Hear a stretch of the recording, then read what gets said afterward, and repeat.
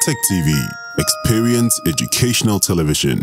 The Ministry of Communications, in collaboration with the International Telecommunication Union, organized an International Girls in ICT Day dubbed Expand Horizons, Change Attitude at the Great Hall of Kwame Nkrumah University of Science and Technology on the Friday, 11th of May 2018. The occasion was graced by the Sewiahene, who was representing His Majesty Otumfuo Osei Tutu II. The Chief of Staff, Mrs. Frema Osei Opare, was present.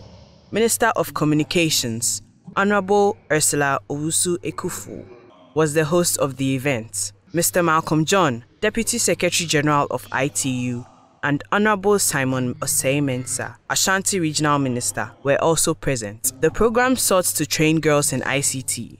Some schools were selected from the Ashanti region and taught how to create a blog.